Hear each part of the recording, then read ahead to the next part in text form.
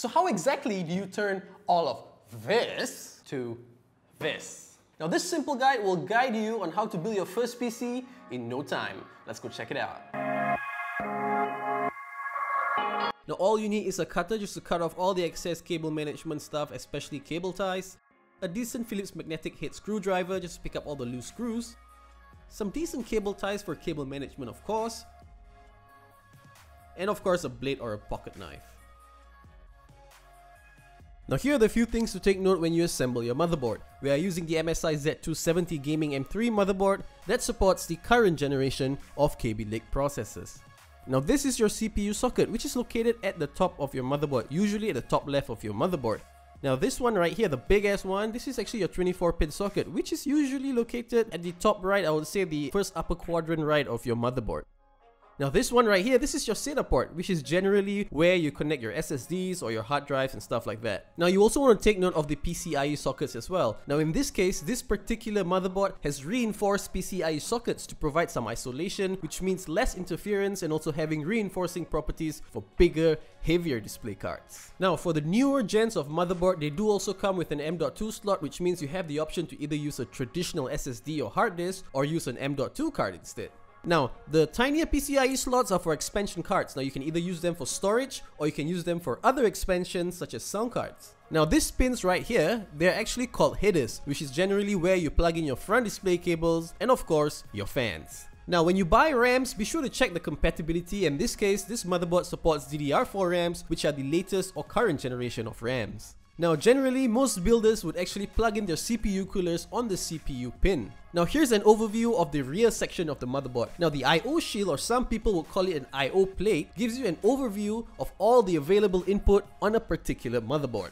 Now jumping into processors, we are using the i7 7700K processor, which is on the 1151 socket. Now this is the current generation of processors, so hence why we're using it. So which direction should you install your processor? Now line up the notches or triangle on the processor with the socket. Now depending on the processor and socket you are using, you may have several notches around the edges or a small triangle in one corner.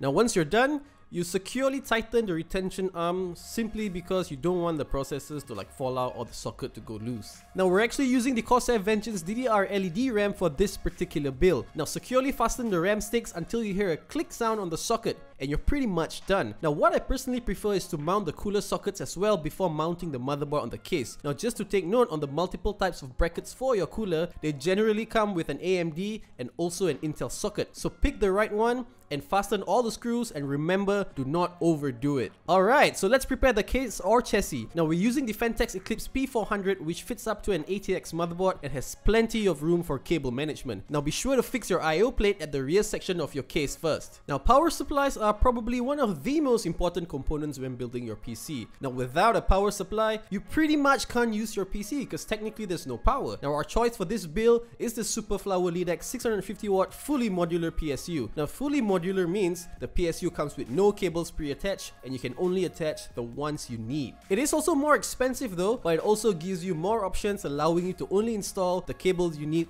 and keep airflow and cable management to a maximum. Now be sure to direct the PSU fan to an exhaust for optimal airflow and cooling. Now this is also a good time to redirect all your cables such as the 24 pins and your 8 pins. Now you want to start mounting your motherboard onto the case and make sure you have all the standoff placed according to the size of your motherboard. Now most cases today would come with a pre-screwed standoff so that saves you a bit of time. Now you begin by plugging in your 24 pin cable onto the motherboard.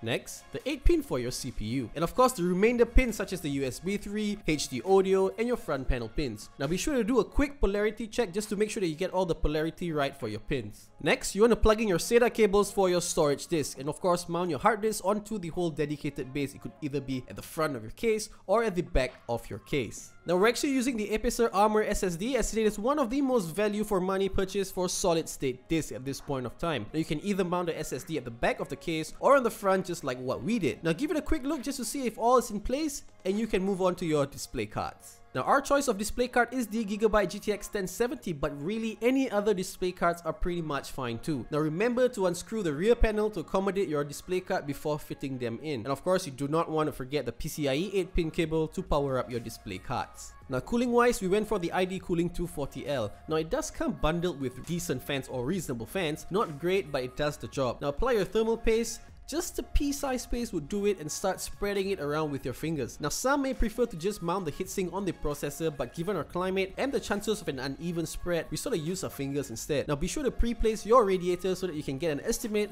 of how the two hoses will look like. Now double check the direction of your fans and you're pretty much ready to mount them. Again, remember, do not overdo the tightening part. Now moving on to cable management, remember to pull all the cables to the back prior to tying them in place so that you get a much cleaner look. Now this is where zip ties actually come really really really handy. Now some cases like the Corsair Carbide does have a dual chamber so you don't have to actually worry so much about rear cable management but in this case you pretty much have to.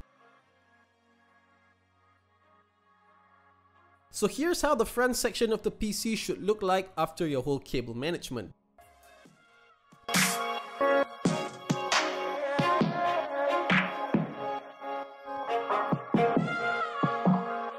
Now finally, you turn on the PSU switch and you boot the whole PC up. Alright guys, you are watching a simple PC building guide by Tekan Start. It means press start. I'm going to leave all the links for you to purchase all this stuff and you can of course go to eTech PC and buy it. I'm going to link them all up in the description section below as well. Give me a big thumbs up if you like this video man. If you dislike this video as well, let me know why in the comments section below. Anything else, drop me an email at maingamebestgila at gmail.com. It simply means playing games are awesome and of course hit the subscribe button too and I'll see you in my next video. Bye bye.